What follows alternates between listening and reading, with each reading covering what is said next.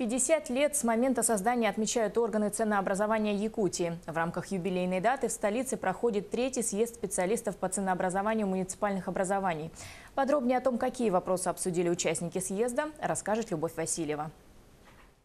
В России в сфере ценообразования происходит централизация. Все нововведения основываются на российское законодательство. Также в регулируемых отраслях проводится реформирование. Большие изменения ожидаются в тарифной политике электроэнергетики страны.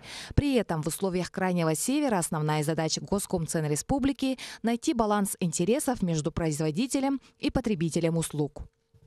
Государственный комитет по ценовой политике регулирует тарифы как на тепловую энергию, так и на электрическую энергию.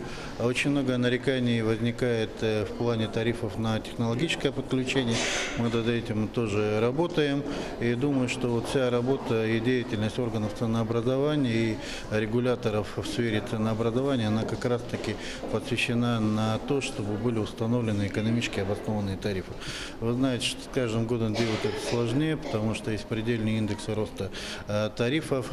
Эти и другие актуальные вопросы обсуждают участники третьего съезда специалистов по ценообразованию муниципалитетов и регулируемых организаций.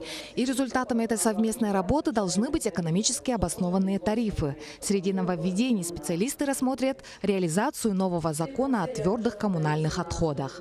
Нас ожидают со следующего года изменения, связанные с введением тарифов на твердые коммунальные отходы.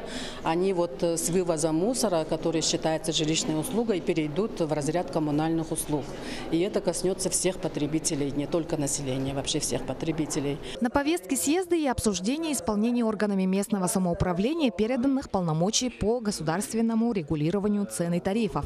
К районам Крайнего Севера относятся почти все улусы, кроме Нерюнгринского и Алданского. Кирова. В этих районах не утверждают торговые надбавки на социально значимые продовольственные товары. Мы регулируем, устанавливаем тарифы на твердое топливо, торговые наценки на школьное питание и также мы регулируем тариф на пассажирские перевозки.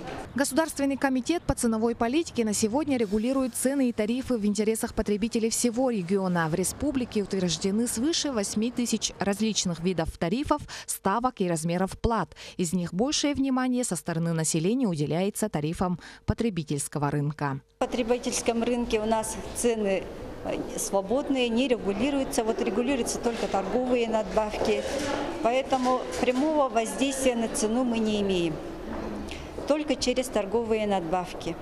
Процесс регулирования цен и тарифов представляет тесную взаимосвязь и отношения между регулируемыми организациями и органами власти всех уровней. Но во главе всегда интересы потребителей республики. Любовь Васильева, Георгий Григорьев, НВК Саха, Якутск.